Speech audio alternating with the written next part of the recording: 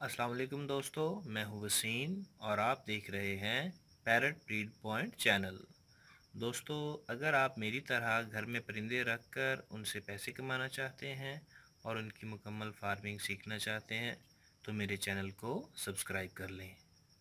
दोस्तों, आज हम कॉकटल के केज के साइज़ के बारे में बात करेंगे।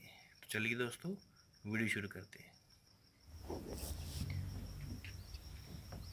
दोस्तों, आज हम कॉकटल के केज के साइज़ के बारे में जानेंगे कि कॉकटल का केज किस साइज़ का होना चाहिए।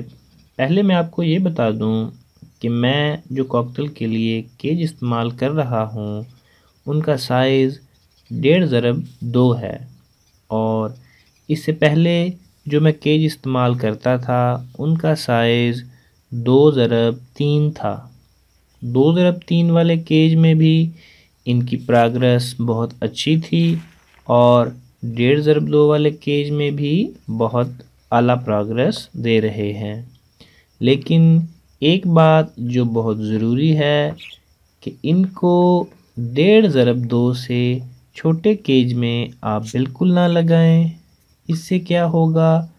छोटे केज में जो कॉकटल की मादाएँ होती हैं, वो चर्बी बना जाती हैं, जिसका नुकसान ये होता है कि कॉकटल की मादा अंडा नहीं देती और पेयर ख़राब हो जाता है।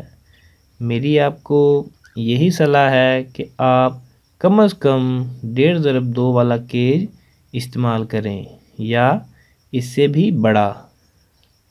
तो मेरे ख़्याल से केज के साइज़ वाला मसला शायद हल चुका, हल हो चुका है।